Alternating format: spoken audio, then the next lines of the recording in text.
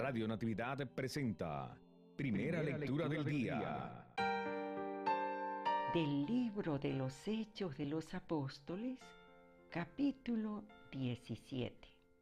En aquellos días, los cristianos que ayudaron a Pablo a escapar de Berea, lo llevaron hasta la ciudad de Atenas. Pablo los envió de regreso con la orden de que Silas y Timoteo fueran a reunirse con él cuanto antes. Un día, mientras los esperaba en Atenas, Pablo sentía que la indignación se apoderaba de él al contemplar la ciudad llena de ídolos. Entonces se presentó en el Areópago y dijo, Atenienses, por lo que veo, ustedes son en extremo religiosos. Al recorrer la ciudad y contemplar sus monumentos, encontré un altar con esta inscripción, al Dios desconocido. Pues bien, yo vengo a anunciarles a ese Dios que ustedes veneran sin conocerlo. El Dios que hizo el mundo y todo cuanto hay en él, siendo el Señor del cielo y de la tierra, no habita en templos hechos por hombres, ni es servido por mano de hombres, como si necesitara de algo o de alguien, porque Él es quien da a todos la vida, el aliento y cuanto tienen. De un solo hombre sacó todo el género humano para que habitara toda la tierra.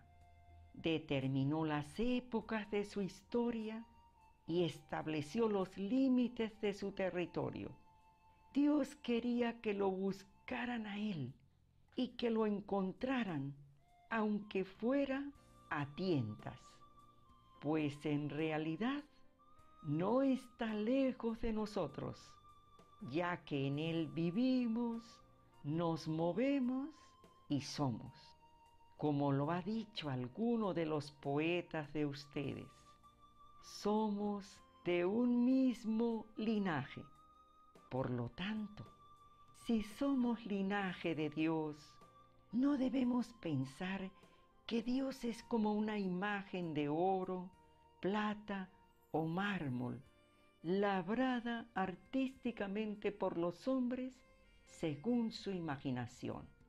Dios no tomó en cuenta la ignorancia de la gente en tiempos pasados, pues ahora quiere que todos los hombres se conviertan, porque tiene determinado un día en el cual ha de juzgar al universo con justicia por medio de un hombre designado por él y ha dado a todos la prueba de esto, resucitándolo de entre los muertos.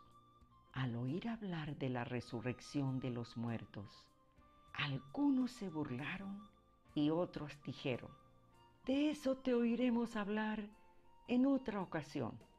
Entonces Pablo se retiró sin embargo, algunos se adhirieron a él y creyeron.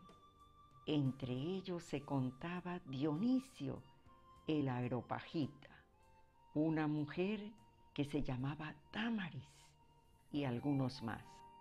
Después de esto, Pablo salió de Atenas y se fue a Corinto.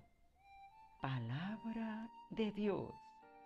Te alabamos, Señor.